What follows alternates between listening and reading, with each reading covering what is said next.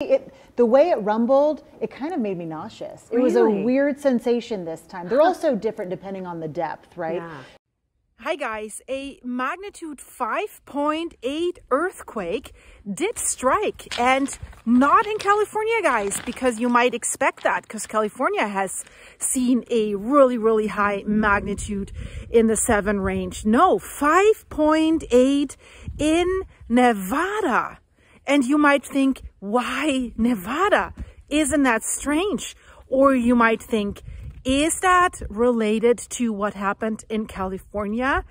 Hmm, but there is something very strange about it.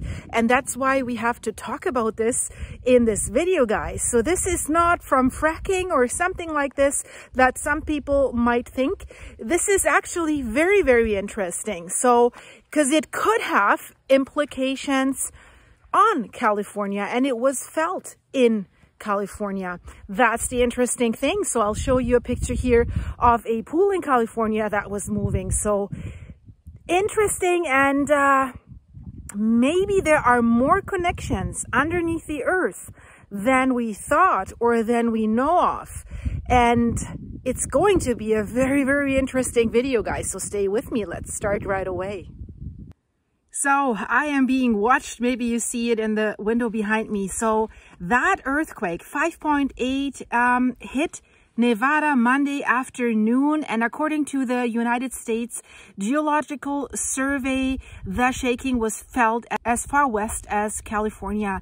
And the quake struck 15 miles north northeast of the town of Yerington. That's about 40 miles east of Carson City. And the local time was 3.08 p.m. And this was widely felt, guys. And this, I'm sure, caught many people by surprise. Probably many snowbirds as well that are RVing there. So more than 10,000 people reported that they were feeling the earthquake um, on the U.S. Geological Survey's USGS, USGS uh, website in a little over two hours after it hit. So, so many reports. This tells us that people were really surprised, maybe upset, maybe shaken up, maybe scared. They reported it, right? They felt, oh, this is completely not normal. So that's why they reported it. So and then many, many aftershocks were striking. So at least 14 aftershocks were striking the same area um, within the next two hours before 5.30 p.m. And they were ranging in size from 2.5 to 4.2. So quite significant. We can say it's like microseismic. And the depth of the initial quake was shallow. It was relatively shallow at 8.4 kilometers. And the USGS says everything that's under 70 kilometers is considered shallow. So strong to very strong shaking was felt near the earthquake's epicenter. That is what we see when we look at the USGS intensity map and also, Carson City and even Reno did see light to moderate shaking. And overall, this magnitude 5.8 was one of over 31 earthquakes that was recorded in Nevada, in this area in western Nevada on Monday as a whole. The reports about the shaking, they were coming from Western Nevada, but also from Eastern California. They also felt they need to report this. What the USGS says is this event is identified as the potential main shock of an earthquake sequence. And already last month, we saw 43 earthquakes in this particular sequence. So what is going on, guys? What is going on, guys? We're finding the answers here. The magnitude 5.1 earthquake happened just days after a magnitude 7.0 earthquake struck off the coast of California prompting a tsunami warning. Thankfully, no tsunami happened. But, you know, then an ongoing earthquake swarm that is still happening um, with significant earthquakes rocked Alaska on Monday as well. So I feel like no matter where you go right now, something's happening. Earthquakes, volcano, you know, sounds really, really a little bit scary in my opinion. But you know, you guys, you wrote in the in the comments and of a very, very cool guy. Um, he says, and he's the experts when it comes to these earthquakes, um, you know, don't be scared, be prepared. And I think that's the right attitude because if you live in these areas, you can't change it anyway. So shout out to Dutch. You're absolutely right. And uh, yeah, we should hammer that into our heads. But when you're traveling, it's a little bit harder to be prepared. I imagine people in Nevada in this area that are in an RV traveling and but you know if you're in the RV and it's it's shaking this thing is shaking all the time anyway so you feel like you're on a boat. This one is a rental. It doesn't have leveling jacks or anything right? So if you move it's shaking so you can get seasick. So nothing can really happen right? No building can collapse on you unless you're standing near something that might fall on this RV but still, I'm always taking care that I have enough water, that I have enough food, that I have enough food for the doggies so that I am okay. Should something happen, I can go to stores, I, you know, road closed, landslide, volcanic eruption, who knows? I mean, um, I'm close to the Pacific Ring of Fire with volcanoes all over the place, with the Cascadia Fault. I mean, San Andreas Fault is not that far away. So Alaska is not that far away. So you have to keep that in mind for sure. But now guys, really, really, and this is interesting what we're talking about now. Is there a correlation between everything that is going on? And guys, this weather here, I'm in Eastern Washington at the border of Idaho. It's, well, this stupid car doesn't have a temperature sensor. So it's cold, I can see my breath, but I'm sitting here in a sweater and the sunshine and the grass is green. It's absolutely amazing. But let's have a look at this shake map here. There you really see where the earthquakes happened around Yerington, that's near Silver Springs in Nevada. And this earthquake that hit the area was stronger than the usual. So it's definitely something out of the ordinary. The nearest major city to this is Reno, that is 77 kilometers away, and it has a population of roughly 241,000 people. And of course, many were surprised. So the quake was felt in Reno and even further away, but what is really interesting is that it has caused a much stronger shaking closer to the epicenter, of course. So there was damage. The people reported like minor damage such as cracks in the walls, inventory fell off the shelves in numerous stores. Thankfully, no reports of injuries. So tectonically, what is going on there? How is this earthquake related? It's related to a fault line along the Walker Lane. That's how it's called. This is a fault system that's roughly 100 kilometers wide. So it's not a super small one. And it's this one is often described in literature as diffuse because it does not have clearly defined lateral boundaries and no dominant main fault. So instead, what we're seeing there, there are several normal and transverse faults running parallel to the length of the Sierra Nevada. So this area basically strikes southeast northwest and extends from the Garlock Fault in Death Valley, that's another fault, to the Honey Lake Valley region to the north. So it seems there's a lot of fault systems going on. There's an interesting study that a geoscientist wrote. He works for the University of Oxford. His name is Ian Pierce. Um, he studied the Walker Lane fault system. And he says about 20% of the annual 50 millimeters of right lateral shear between the Pacific and North American plates is absorbed by the Walker Lane fault system. So let that sink in. This fault system is absorbing tension from the major plates. So is this good or bad? That's what we're wondering, right? So the Walker Lane absorbs energy, which according to his study can prevent or delay larger earthquakes in urban areas along the Pacific coast. Interesting, right?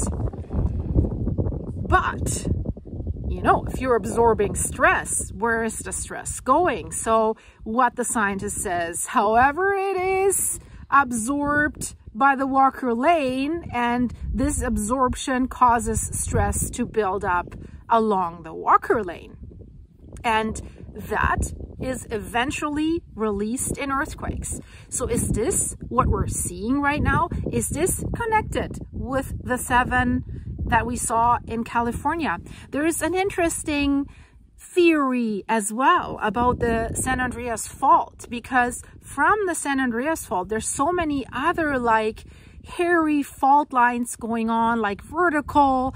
And what scientists are now thinking or trying to find out and and basically also confirming is you know we're always thinking what could trigger the San Andreas fault so we know two tectonic plates are sliding along each other and then they're getting stuck. And when that being stuck is released, then we see the big one. Same for the Cascadia fault. It's a subduction zone. The two tectonic plates are basically sliding underneath each other and then they're stuck. And then once they release, it's causing the big one. And there's always the theories if we see a lot of smaller earthquakes, is that releasing tension? When it comes to the Cascadia fault, scientists are saying no, could be the opposite.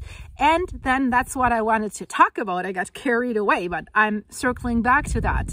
Is these other faults that are along the San Andreas fault that are parallel vertical, they're trembling. These guys actually could trigger the San Andreas fault through their movements, they could trigger the big one as well. So what we're looking at here, and this is the question that is raised in my mind, okay, it's absorbing the stress, but could it also cause it? You know, this scientist says, okay, it's absorbing the stress. That's why we see the higher earthquakes there. Um, but could it be the opposite? Could could it be that these fault lines, they're trembling, could also cause something bigger?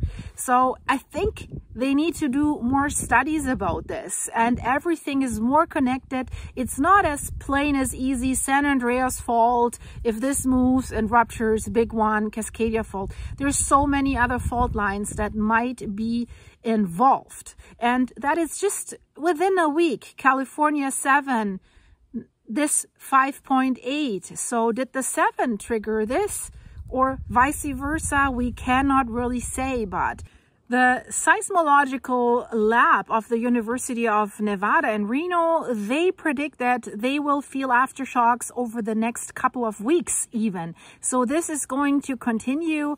Um, they say central Nevada is prone to bigger earthquakes, so they were not super surprised by this, but they're keeping an eye on things in the area. They're saying, well, in Reno, we have big fault lines that basically go right through the city. And then Mount Rose Fault is one of the faults we also keep a close eye on. That's what they're saying. Well, it's basically everywhere, right? There's also big faults in the Lake Tahoe area, for example. So it's not, oh, I'm getting off the coast, so I'm off the hook from the Andreas Fault. No, unfortunately not. And uh, they say we feel a lot of these earthquakes that are coming from these faults. They're certainly capable of generating earthquakes in the six to seven range. So so not only coastal California. And so they're saying that's why we're trying to get ready to prepare for it. But people need to be more aware of this, seismic codes, building codes, stuff like this. And they're even saying that this 5.8 was felt as far as San Francisco even. I bet some people that live there were a little bit scared. So what they have released as a statement just today, and I quickly tell you this, um, they say at a depth of roughly seven miles in a fault zone known as the Wabuska lineament, it was a left lateral strike slip earthquake. So the Wabuska lineament is one of a cluster of northeast striking faults in the mountains east of Reno. So a left lateral strike slip earthquake. And you see it here in the map that explains how these earthquakes are working, how the strike and slip event is happening. So they say earthquakes like this have been happening in this region known as the Walker Lane Shear Zone, which follows the California-Nevada border. And they say this has been happening for millions of years. The Pacific tectonic plate is moving northwest relative to the North American tectonic plate. And while most of that takes place along the San Andreas Fault, it also causes deformations further east in the crust of western Nevada, creating the complex web of fault lines in the Walker Lane. And I think they need to study this web more closely. And they're asking, again, they want more reports. They said anyone who felt the earthquake is requested to fill out a form on the U.S. Geological Survey website indicating the intensity of shaking at their location. So guys, if you liked this video, please leave it a like. And if you're new here, subscribe to my channel. I would love to see you again. And to all of you, thanks so much for supporting this channel. If you're wondering where I am, um, for those of you who know, I am in Washington at the border of Idaho because my dog needs radiation treatment. Apollo needs treatment. And I'm so grateful for your support because without you, that would not have been possible. And he's early into to his treatment, but it's already working. So because of you guys, he's doing better and I'm so grateful for the coffees you keep sending me on my buymeacoffee.com slash silki site. If you want to keep doing this to support his monstrous vet bill, I'd be so grateful. The link is in the description of this video, guys. And uh, more to come very, very soon. Check out my videos um, about Iceland. Very interesting if we compare everything that has happened on the Reykjanes Peninsula since 2021, since Fakra so the eruption that just ended was the 10th eruption within a short period of time. And also other areas are rumbling. Very interesting video that I just released last night about Alaska, Mount Spur that one is an interesting volcano that is rumbling and threatening Anchorage. So check out that video as well. And if you like, if you want to see more behind the scenes of what we're doing here, please become a member of my channel. I'd love to see you there. And for everyone who is already a member, and a silver level member. Guys, you're awesome. I'll see you there very soon. Stay safe. Bye-bye.